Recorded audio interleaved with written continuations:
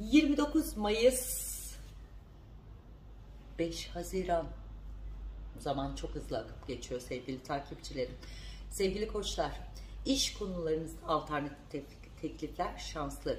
Bir de sağlık konusunda biraz daha dikkatli olup diş eti iltihaplarımızı unutmamamız lazım. Sevgili boğalar, ev, yenilik, yenilenme için çok şanslısınız. E, rütbeniz ve beklediğiniz işten olumlu haber var. Sevgili ikizler, sorunları çözmek için doğru gördüğün her şey sana şans yaratacak. Sevgili gençler, e, yengeçler, sana iyi gelmeyen, seni rahatsız eden, hayatında konuşmak istemediğin insanları hayatına veda etme vakti, sakinliğini ve sükunetini korursan çok şanslısın.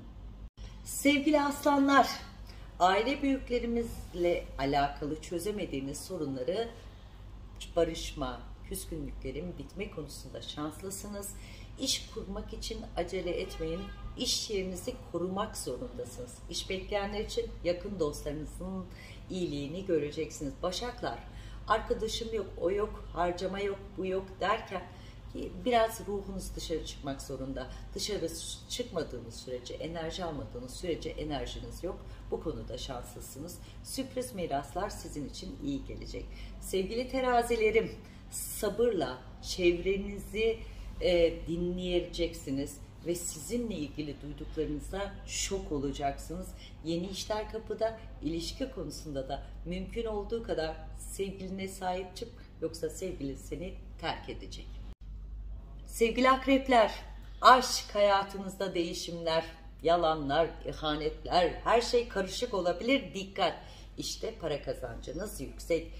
Sevgili yaylar, evrenden gelen mesajları doğru aldığınız sürece başarı odaklanmanız var.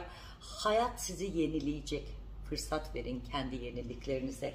Oğlaklar, idealist kararlarla yurt dışı, şehir dışı yenilikleriniz doğru. Mutlu olacağınız ilişkinizle ilgili de jestler, şanslar var. Kovalar, bereketli bir dönemin size sunacağı çeşitli imkanlar var e, olsa da siz kendinize güvenip kendinize doğru noktayı ifade etmeniz gerektiğini gösteriyor. Sevgili balıklar, hayallerinizin gidebileceği noktanın bir dönemi. Aynı şekilde aşk konusunda e, düzensiz evreniz geri bitiyor. Sadece sağlık ve ruhsal evremizi iyileştireceğiz. Küs olduğumuz arkadaşlarımızla barışma zamanı.